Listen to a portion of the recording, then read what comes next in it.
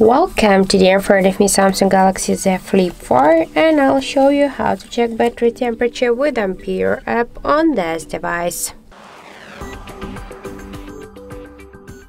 So first we should open the Play Store application and after that here in the search bar we should enter Ampere and now we should get this application. That's why I just tap to install and wait a couple of seconds while this application downloading and then installing on your device. After that just tap here to open the app. Click yes I agree.